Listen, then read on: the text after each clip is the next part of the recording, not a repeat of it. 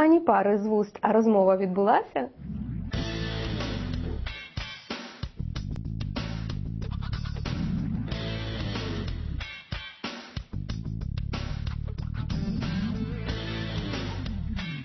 Відповідь на цю загадку сила мови тіла.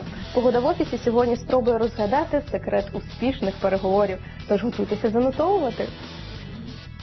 Але усе по порядку. Перемовини тонка наука. Не завжди очевидна перемога має реальну користь. Для того, чтобы начать работать в какой-то компании, молодая, новая э, фирма, да, идет на, на условия там работать без прибыли, но для того, чтобы завоевать там уважение на рынке, свои позиции и так далее. І це одна з трьох класичних стратегій переговорів, орієнтованих на інтереси, а не позиції. У перемовинах продумайте довгострокові вигоди, а не миттєві. Для цього оберіть підходящу тактику. Тактика пул подразумевает, что мы а, больше слушаем, мы занимаем более пассивную позицию.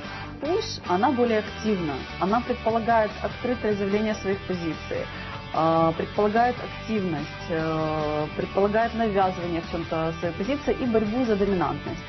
Але цих знань недостатньо, якщо переговори виходять на міждержавний рівень. Упевнена Уляна Кулікова, керівник бізнес-школи, а в минулому працівник сфери прямих продажів у міжнародній компанії. Американцы очень любят м, короткие, четкие переговоры, выдавливая своего э, оппонента максимально выгодные для себя условия. То есть американцы всегда заточены под работу на результат. Переговоры э, азиатские, скажем так, они более длительные.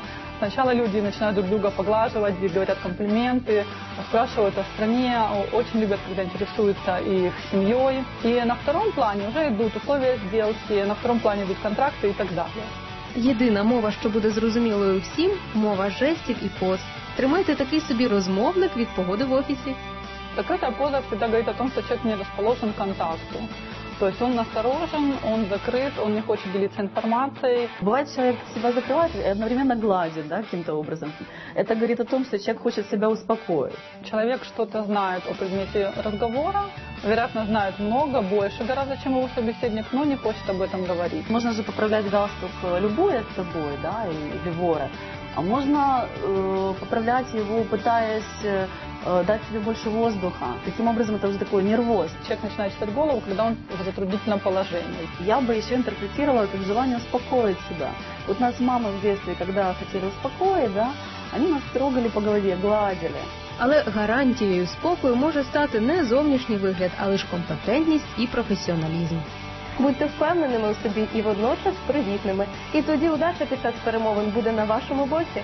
Гарної погоди у вашому офісі.